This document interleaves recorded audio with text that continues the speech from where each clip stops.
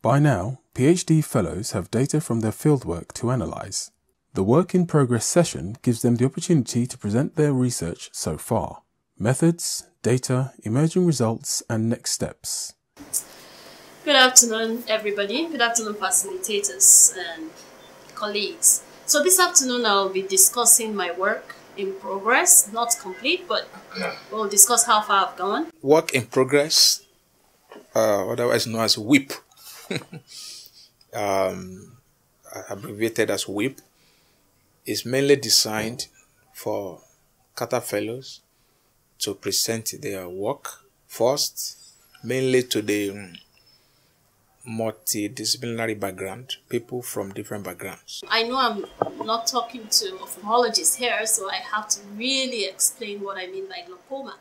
Um, glaucoma is a disease that teaching our fellows how to talk to um, educated but uninformed audience. By uninformed audience, I mean those who are not informed in line with your disciplinary background.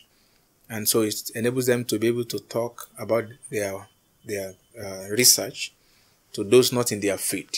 Now, I actually decided to use the health belief model because this is a model that looks at preventive care, um, a model that looks at um, what people can do to prevent a, a certain outcome. CARTA teaches people the importance, um, both from an ethical point of view, but also from a use value point of view, of being able to communicate your findings back to the subjects, your research subjects, and also to a wider audience. Politicians, health service personnel, people involved in social security, whatever the subject happens to be about, environmental health. Um, people want to know those results and you need to be able to communicate them.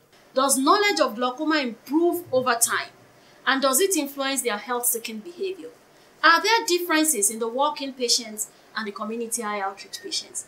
As I continue to do the analysis, I'm sure I will have um, results for these questions. Thank you. Thank you so much. So the, the benefits of um, having a group um, critiquing or during the work in progress is to have different perspectives on the same issue. And what they've carefully done is to bring people with different expertise into the same group. So you see the same issue differently. And it helps because that's the essence of research for people to be able to understand your work irrespective of who they are. Thank you so much, uh, Shola, for the presentation. And uh, it's quite uh,